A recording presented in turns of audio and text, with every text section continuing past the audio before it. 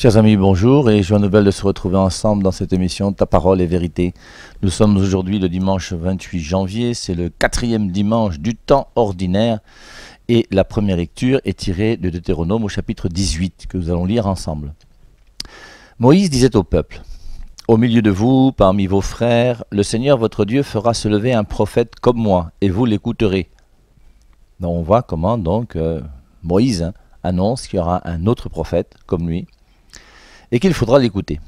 C'est bien ce que vous avez demandé au Seigneur votre Dieu au mont Horeb, le jour de l'assemblée, quand vous disiez Je ne veux plus entendre la voix du Seigneur mon Dieu, je ne veux plus voir cette grande flamme, je ne veux pas mourir.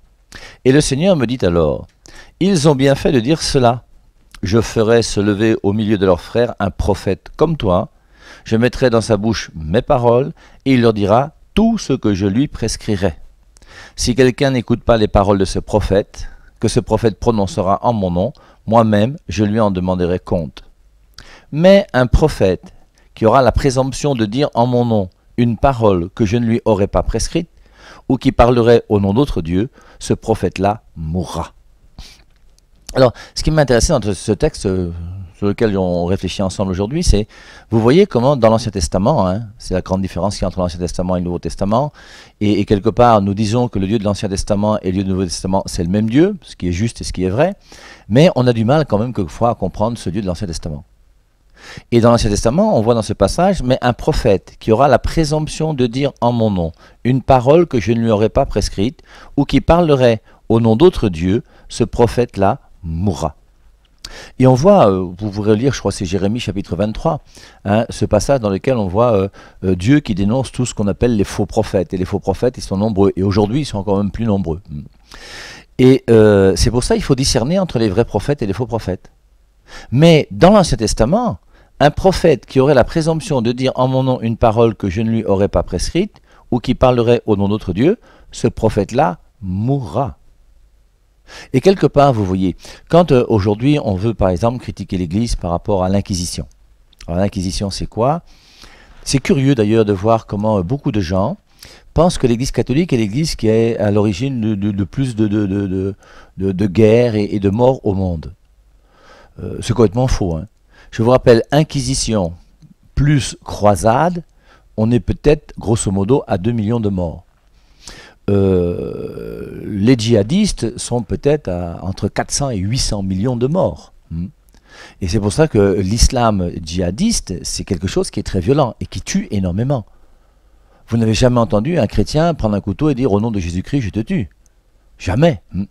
Et euh, donc, c'est important pour nous de pouvoir donc réfléchir sur euh, le fait que un prophète qui se détourne de la vérité est un prophète qui normalement ne devrait plus vivre mais devrait mourir. Ce, passage hein, mais un prophète qui aurait la présomption de dire en mon nom une parole que je ne lui aurais pas prescrite, ou qui parlerait au nom d'autre Dieu, ce prophète-là mourra. Alors, vous voyez, je reviens donc à cette histoire d'inquisition qui disait que euh, lorsque euh, euh, à l'époque du Moyen Âge ou à l'époque de l'Inquisition, on avait des, gens qui commençaient à avoir une doctrine autre que la doctrine de l'Église catholique. L'Église catholique était quand même l'Église majoritaire.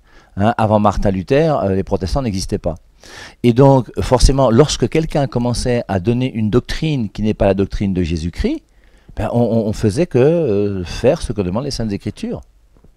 Mais un prophète qui aurait la présomption de dire en mon nom une parole que je ne lui aurais pas prescrite, ou qui parlerait au nom d'autre Dieu, ce prophète-là mourra.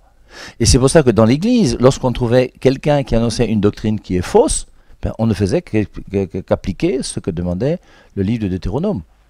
Il est clair qu'aujourd'hui, dans le contexte dans lequel nous sommes, ce serait une aberration intellectuelle, euh, sociétale même, je dirais, de pouvoir dire qu'on va tuer quelqu'un parce qu'il n'a pas une bonne doctrine. Mais à l'époque, c'est ce qui se faisait. Et à l'époque où l'Église catholique était, la seule religion chrétienne au monde, ben forcément, quelqu'un qui vient donner une doctrine qui est autre, il faut quand même qu'on essaie de voir ce qu'on peut faire pour lui. Quand tu as quelqu'un qui vient et qui te tue, œil pour œil, dent pour dent, si tu me tues, je te tue. Et c'est pour ça que dans beaucoup de pays, il y avait la peine de mort. Et dans ces pays où il y avait la peine de mort, moi j'ai connu même le père Jacques qui était avec nous à, a, quand je suis arrivé il y a une trentaine d'années, hein, qu'on appelait Faramelo. Et, donc il, il, a conduit un homme qui était condamné à mort.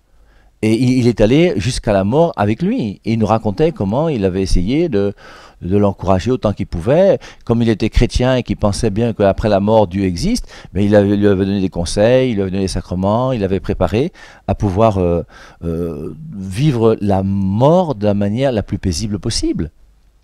Et dans beaucoup de pays, il y a la peine de mort. Et la peine de mort regardait aussi ben, ceux qui avaient une doctrine qui était fausse.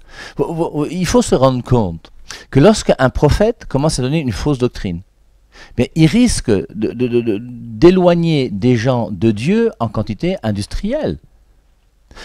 Quand tu tues une personne, tu ne fais que tuer sa vie humaine. En donnant une fausse doctrine, tu tues même sa vie divine, ce qui est encore pire. Et c'est pour ça que dans ce contexte, on peut comprendre que à un moment donné dans l'Église, eh bien oui, c'est vrai, ceux qui avaient une fausse doctrine, ben on, s'occupait d'eux euh, comme faisait le gouvernement. Je vous rappelle qu'une sainte comme Jeanne d'Arc est une sainte qui a été euh, euh, accusée de sorcellerie et on l'a brûlée, alors que quelques années plus tard, l'Église catholique qui l'a brûlée, c'est elle-même qui l'a canonisée. Donc c'est pour ça. Alors tout ça c'est juste pour dire que vous voyez un prophète, il faut faire attention. Alors qu'on ait pu euh, brûler des gens qui avaient une doctrine qui était fausse. Ben oui, ça faisait partie euh, du contexte et de, la manière de vivre de l'époque. Moi, j'y peux rien, c'était comme ça. Mm. Et ce qui, est intéressant aussi par rapport à l'Inquisition, vous voyez, l'Inquisition, c'est quoi? Alors, je, vous invite à faire des, recherches sur l'Inquisition. Et moi, Père et Marie, je vous dis et j'estime que l'Inquisition est une chose qui est positive. Et si vous faites de bonnes recherches, vous verrez que je crois que c'est avec l'Inquisition qu'on va commencer à avoir des tribunaux qui vont commencer à être un peu sérieux. Euh, on a l'exemple, par exemple, en France, de deux soldats qui avaient été mis en prison par le roi et, qui, toute la nuit, ont insulté Jésus-Christ. Ils ont insulté Jésus-Christ pourquoi? Parce qu'ils ont voulu être jugés par l'Inquisition. Parce qu'en étant jugé par l'Inquisition, ils savaient qu'ils pouvaient quand même avoir une sortie où c'était pas sûr qu'ils allaient mourir. Tandis que mis en prison par le roi, ils savaient qu'ils étaient morts. Parce que le roi avait pouvoir de vie et de mort sur tout le monde. Et donc, l'inquisition, inquisitio, ça veut dire j'enquête. Et, donc, l'inquisition, c'est euh, une manière, lorsqu'on dénonce quelqu'un, d'enquêter pour savoir si ce qu'on lui reproche est vrai. D'ailleurs, dans les pays euh, catholiques où l'Inquisition existait, il y a eu beaucoup moins de sorciers et de sorcières à être brûlés et à être tués que dans les autres pays où la religion catholique n'existait pas. Parce que grâce à l'Inquisition, les sorciers ou les sorcières qui étaient dénoncés comme tels, on ne mettait pas le zoisois comme on fait ici et on les brûle, hein, justice populaire, mais il y avait une enquête qui était menée. Et grâce à cette enquête, ben, les gens pouvaient se justifier. Et en se justifiant, ils pouvaient sauver leur vie. Dans, l'Inquisition, la première des choses qu'on demandait à quelqu'un qui était euh, condamné, à qui on portait une plainte, hein, contre qui on se plaignait, on disait quels sont tes ennemis? Et on savait que lorsque des gens passaient à la barre pour pouvoir euh, critiquer cet homme, on savait que tel ou tel était son ennemi. Donc on savait que son discours pouvait quand même être un peu influencé parce qu'il avait une revanche à prendre par rapport à cet homme qui était en train d'être jugé. Et, donc l'Inquisition, c'est quelque chose qui n'a pas été si mauvais que ça. Au contraire, et c'est avec l'Inquisition donc qu'on a commencé à voir qu'il fallait euh, quelqu'un pour défendre, etc., et des lois et de la justice et, toutes ces choses qui se sont mises en place. Alors, mais je reviens sur ce petit passage quand même de Deutéronome chapitre 18. Mais un prophète qui aurait la présomption de dire en mon nom une parole que je ne lui aurais pas prescrite, ou qui parlerait au nom d'autre Dieu, ce prophète-là mourra. Et c'est quand même triste de voir le nombre de mensonges qui existent aujourd'hui au nom des Saintes Écritures et au nom de l'Esprit Saint. Et il faut que nous puissions euh, réfléchir pour pouvoir être capables de discerner afin de voir euh, où se trouve la vérité et est-ce qu'il y a une vérité quelque part. Je vous rappelle alors, au risque de choquer certaines personnes parmi vous, que moi je ne connais aucun mensonge doctrinal dans l'Église catholique. Regardez la doctrine de l'Église catholique depuis 2000 ans, on n'a jamais eu de mensonge dans cette doctrine catholique. Par contre, aujourd'hui, tous ceux qui vous enseignent au nom de la Bible que Jésus-Christ avait des frères et des sœurs, que Marie et Joseph ont sexé ensemble et fait des enfants, sont malheureusement des gens qui sont dans l'erreur et qui vous trompent. Et vous savez que la première tromperie la plus importante du côté de la vie chrétienne, c'est Martin Luther qui nous a fait croire que seule la Bible est la parole de Dieu. Et j'espère qu'en écoutant le Père et Marie depuis déjà quelques années, vous faites bien la distinction entre la parole de Dieu et la Bible. Et j'en profite une fois de plus pour vous rappeler que la parole de Dieu ne se trouve pas dans un livre. Je reprends. La parole de Dieu ne se trouve pas dans un livre. Et la parole de Dieu ne se trouve pas dans un livre qui est né en l'an 400. Avant l'an 400, la Bible n'existe pas. Cherchez un dictionnaire et cherchez-moi qu'est-ce que c'est que la Bible. Et la Bible est née en 397, lorsque le concile de Carthage a décidé des 27 livres du Nouveau Testament. Et avec ces 27 livres du Nouveau Testament, on a ajouté les 46 livres de l'Ancien Testament, ce qui fait un total de 73 livres. Et la Bible a réellement 73 livres. Avoir 66 livres, c'est une erreur. Mais un prophète qui aura la présomption de dire en mon nom une parole que je ne lui aurais pas prescrite, ou qui parlerait au nom d'autres dieux, ce prophète-là mourra. Et dire que seule la Bible est la parole de Dieu, ça ne correspond pas à ce que Jésus-Christ a enseigné. Celui qui enseigne ça est un faux prophète. Il faut mettre les choses au clair. Et, donc, euh, euh, la, la, Bible est née en l'an 400, et forcément, avant l'an 400, il y a des gens qui étaient chrétiens. Et on peut très bien avoir la foi, on peut très bien être chrétien, on peut très bien être croyant, croire en Jésus-Christ, être catholique, puisqu'à l'époque tous les gens étaient catholiques mm, de zéro jusqu'à l'an 400 et même jusqu'en en, 1054 où les orthodoxes ont été fondés. Tous ces chrétiens qui étaient catholiques avaient la foi et leur foi ne reposait pas sur la Bible. Leur foi reposait sur la parole de Dieu. Et la parole de Dieu était donnée par qui? Non pas par la Bible qui n'existait pas, mais par Jésus-Christ qui est venu sur terre. Celui qui donne la parole de Dieu, c'est pas la Bible, c'est Jésus. Et Jésus a donné sa parole à qui? À ses apôtres. Luc 10, 16. Celui qui vous écoute m'écoute. Et c'est en écoutant les apôtres de Jésus, donc qui étaient là à l'époque de Jésus, il y a 2000 ans, que je sais que je suis dans la vérité. Si quelqu'un vient chez vous et n'apporte pas cette doctrine, ne le recevez pas dans votre maison. Et la doctrine de l'Église catholique est inchangée depuis 2000 ans. Donc c'était juste pour discuter un petit peu sur ce petit passage, n'est-ce pas, de euh, Deutéronome, Hein, que nous lirons donc à l'église. La deuxième lecture aussi très intéressante, c'est 1 Corinthiens chapitre 7. Alors je vous lis. Alors 1 Corinthiens 7, hein, il faut quand même savoir, il faut, lire ce, chapitre d'un Corinthiens 7 en entier, plusieurs fois même. Et, vous verrez, vous, retiendrez, c'est tout le, dilemme qu'il y a, ou toute la réflexion sur le mariage, un homme et une femme, pour le meilleur et pour le pire jusqu'à la mort, et la consécration à Dieu. Dans 1 Corinthiens 7.7, par exemple, un verset qui est facile à retenir, 1 Corinthiens 7.7, Saint Paul dit, Je voudrais que tout le monde soit comme moi. Et lui, il n'était pas marié. Alors, la lecture de demain, c'est Frère, j'aimerais vous voir libre de tout souci. Celui qui n'est pas marié a le souci des affaires du Seigneur. Il cherche comment plaire au Seigneur.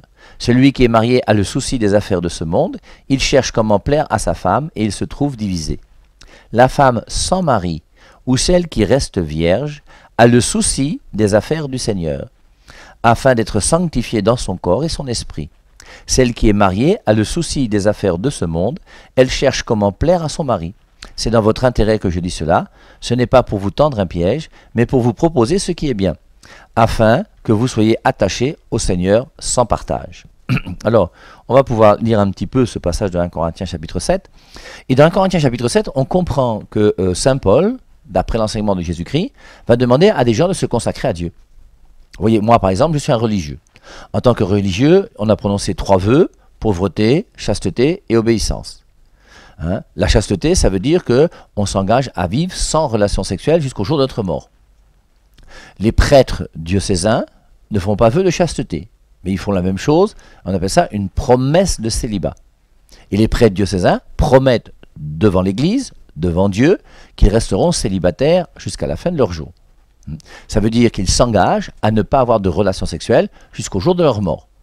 Si tu n'es pas capable, ben, ne deviens pas prêtre. Et sois honnête. Parce que c'est pénible de voir ces prêtres qui ont des femmes et des enfants. Hein. C'est quand même un peu le désordre. Il faut mettre les choses au clair. Alors dans 1 Corinthiens chapitre 7, hein, ce passage très intéressant, hein, qui, va nous montrer que bien c'est vrai que si tu as des difficultés, bien, il vaut mieux te marier. Passons à ce que vous m'avez écrit. Il est bon pour l'homme de ne pas toucher de femme, toutefois à cause des occasions d'inconduite, que chacun ait sa femme et que chaque femme ait son mari. Que le mari rende à sa femme ce qu'il lui doit, de même la femme à son mari. La femme n'a pas autorité sur son propre corps, mais c'est le mari. Et pareillement, le mari n'a pas autorité sur son propre corps, mais c'est la femme. Et dans le mariage entre l'homme et la femme, il y a le don du corps qui est donné à son conjoint. Dans une amitié, je ne donne pas mon corps. Quand je suis l'ami de quelqu'un, je donne du temps, je donne des conseils, je, donne tout ce que je peux donner d'une manière spirituelle, mais il n'y a que dans le mariage que je donne mon corps. C'est pour ça que normalement, tant qu'on n'est pas marié, c'est pas de relation sexuelle tant qu'on n'est pas marié à l'église. Sexeur, sexeuse, arrêtez de sexer. Je n'ai qu'un seul corps que je ne peux donner qu'à une seule personne. Et le corps que j'ai là, je le garde pour le donner à celui qui sera mon époux ou mon épouse. C'est pour ça que la meilleure manière de se préparer au mariage, c'est de rester sans relation sexuelle. Garder son corps pour celui qui sera son conjoint. Et comme je n'ai qu'un seul corps que je ne peux donner qu'à une seule personne, quand je donne mon corps à mon époux ou à mon épouse, je ne peux plus le donner à quelqu'un d'autre. C'est pour ça que les deuxièmes bureaux ne seront jamais un chemin d'épanouissement hein, par rapport à la sanctification que Dieu demande à chacun d'entre nous. Ne vous privez pas l'un de l'autre, si ce n'est d'un commun accord, afin d'avoir du temps pour la prière, etc., Alors, je dis cela comme une concession. Il dit au verset 7, 1 Corinthiens 16, Je voudrais que tous les hommes soient comme moi. Et Saint Paul n'était pas marié. C'est le désir de Saint Paul. Je voudrais que tous les hommes soient comme moi. Hein? Ensuite, il dit, hein, mais chacun tient de Dieu un don particulier, l'un d'une manière, l'autre d'une autre. Si tu veux te marier, marie-toi. Celui qui marie ne pêche pas. Mais si tu veux ne pas te marier, ne te marie pas. On n'est pas obligé de se marier. Et il faut qu'on arrive à comprendre dans la société que un homme ou une femme qui ne sont pas mariés, c'est pas un drame. Alors, quand c'est volontaire, il n'y a pas de souci. Quand c'est parce que tu n'as pas réussi à trouver un homme ou une femme avec qui te marier, c'est plus compliqué à vivre. Mais chacun doit porter sa croix. Alors, Saint Paul nous dit 1 Corinthiens 7, 7, Je voudrais que tous les hommes soient comme moi, ils n'étaient pas mariés. Il continue, verset 8. À ceux qui ne sont pas mariés et aux veuves, je dis qu'il leur est bon de rester comme moi. Est-ce qu'il y a des gens qui m'écoutent aujourd'hui et qui ne sont pas mariés? Est-ce qu'il y a des gens qui m'écoutent aujourd'hui et qui sont veuves? À ceux qui ne sont pas mariés et aux veuves, je dis qu'il leur est bon de rester comme moi. Mais s'ils manquent de continence, qu'ils se marient, car il vaut mieux se marier que de brûler. Verset 10. À ceux qui sont mariés, j'ordonne, non pas moi, mais le Seigneur. Donc c'est un ordre du Seigneur. Et je vous rappelle que dans ce passage de 1 Corinthiens 7, on voit des endroits où Saint Paul parle avec l'autorité du Christ, et quelquefois il parle avec sa seule autorité à lui. Hmm. Et c'est intéressant, parce que ça montre que quelque part, il sait quand il parle d'une manière ferme, en faisant ce que Dieu lui demande de faire, et quelquefois il donne son avis à lui. Et il pense être une personne éclairée. Hmm. Et c'est pour ça qu'un jour d'ailleurs, sachant plus si ce qu'il pense est réellement conforme à ce que Dieu veut, il ira rencontrer Pierre, Jacques et Jean, les colonnes de l'Église, Galates chapitre 2, verset 2, parce qu'il a peur d'avoir couru en vain. Il a peur d'avoir dit des choses qui viennent de lui et qui ne viennent plus de Dieu. Et donc, pour être sûr que ce qu'il dit vient réellement de Dieu, il est allé voir les colonnes de l'Église, Pierre, Jacques et Jean, Galates chapitre 2, à partir du verset 2, et vous lirez jusqu'au verset 11, je crois. Alors, j'ordonne non pas moi, mais le Seigneur, que la femme ne se sépare pas de son mari si elle est séparée, qu'elle demeure sans se marier, ou qu'elle se réconcilie avec son mari, et que le mari ne répudie pas sa femme. Quand on se marie, c'est pour le meilleur et pour le pire, jusqu'à la mort. Aux autres, ce n'est pas le Seigneur, c'est moi qui dis, etc., etc. Alors je vous lis maintenant quelques versets, mais vous pourrez lire hein, Corinthiens chapitre 7, c'est très très intéressant.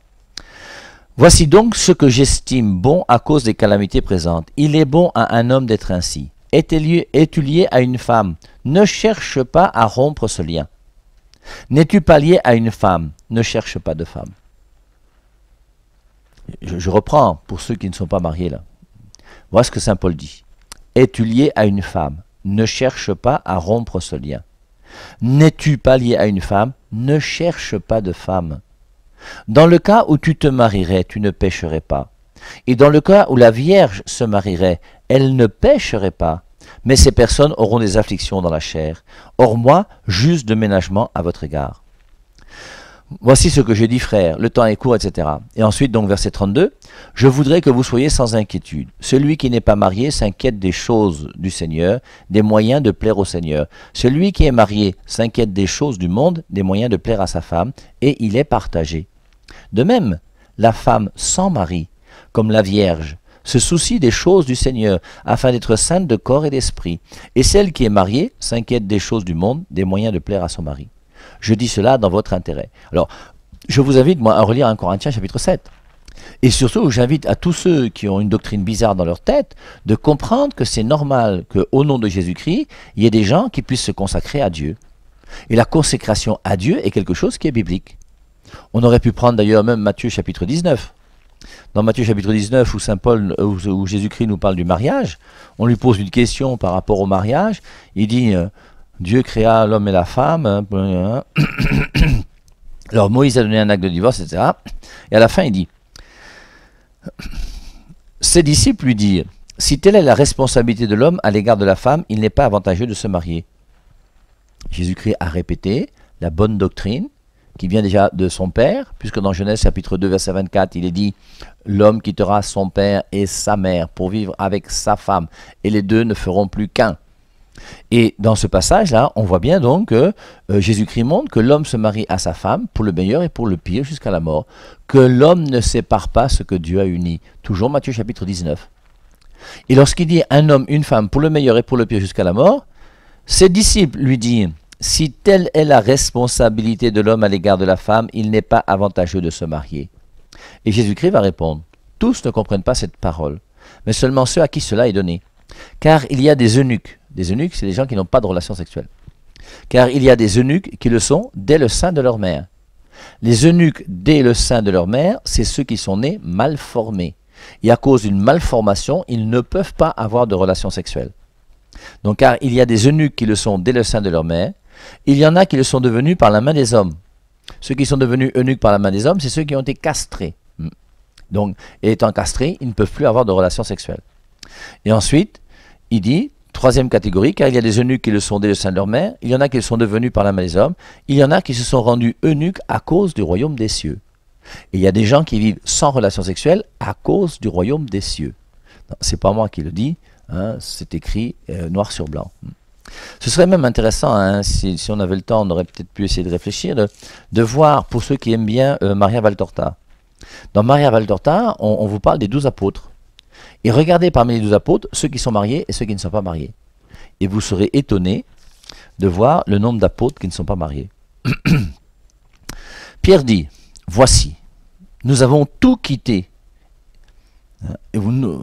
Pierre dit, voici, nous avons quitté ce qui nous appartenait et nous t'avons suivi. Et Jésus lui répondit, En vérité, je vous le dis, il n'est personne qui ayant quitté à cause du royaume de Dieu maison, femme. C'est Jésus-Christ lui-même qui dit. On peut quitter maison, femme, frère, parents ou enfants. Et aujourd'hui, euh, c'est très difficile pour quelqu'un de pouvoir, qui est marié à l'église, de pouvoir devenir religieux. Ou alors, il faut déjà que si tu as des enfants, que les enfants soient tous bien élevés et soient déjà autonomes financièrement parlant. Hmm. Et puis, il faut l'accord de ton épouse. Sinon, tu pas le droit de quitter ta femme comme ça pour entrer dans la vie religieuse. Tu t'es engagé avec elle, tu as une responsabilité à avoir face à elle. Hmm.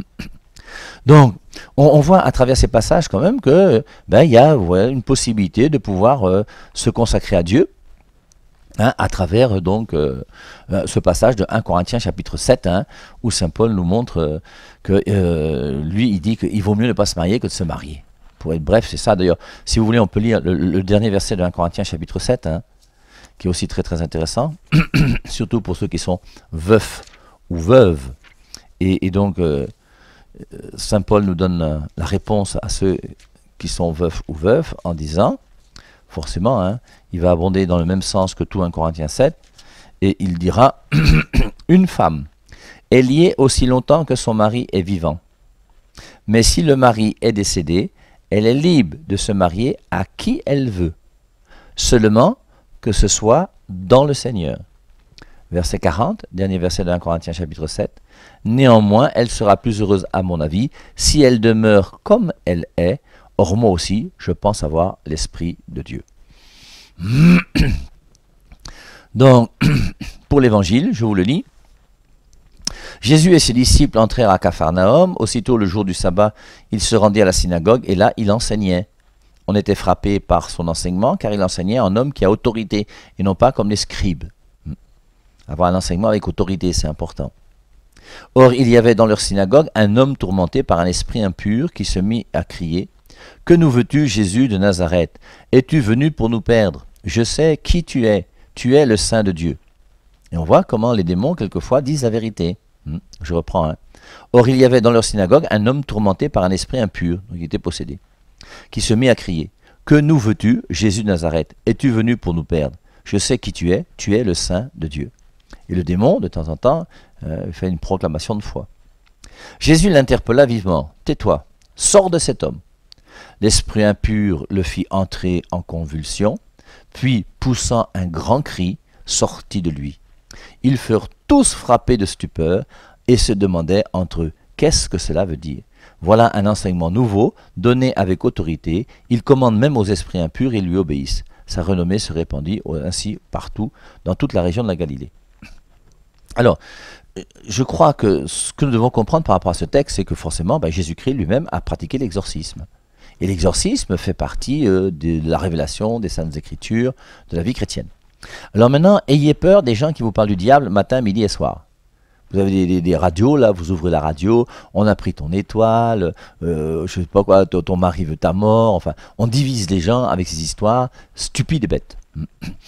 Si vous avez un problème de sorcellerie, moi c'est très simple. Première des choses à faire, 1. Donner sa vie au Christ d'une manière radicale et totale. Tu t'engages à mener une vraie vie chrétienne. Tu barres ton deuxième bureau, tu barres les marabouts, tu barres la tradition bizarre. Tu t'engages avec le Christ d'une manière radicale. Ça, c'est la première des choses qu'il faut faire. Deuxièmement, tu t'engages dans l'église avec tous les sacrements. La messe chaque dimanche, c'est obligatoire. Si tu peux aller à la messe en semaine, c'est une bonne chose. Tu te confesses au moins une fois par an à Pâques, comme demande l'Église. Tu vis dans un état de sanctification. Donc, un, tu donnes ta vie au Christ. Deux, tu t'engages dans l'Église avec tous les moyens que l'Église te donne pour te sanctifier. Et trois, tu fais maintenant ta prière à Saint Michel Archange. Et la prière à Saint Michel Archange, pourquoi? Parce que la prière à Saint Michel Archange, c'est lui, dans Apocalypse au chapitre 12, à partir du verset 7, qu'on peut lire si vous voulez. Et dans Apocalypse chapitre 12, verset 7, on voit comment euh, il y eut une guerre dans le ciel. Michel, donc Saint Michel Archange, et ses anges combattirent le dragon. Le dragon, c'est lui qu'on appelle le diable. Il y eut une guerre dans le ciel, Michel et ses anges combattirent le dragon, le dragon combattit lui et ses anges, mais il ne fut pas le plus fort, et ne se trouva plus de place pour eux dans le ciel.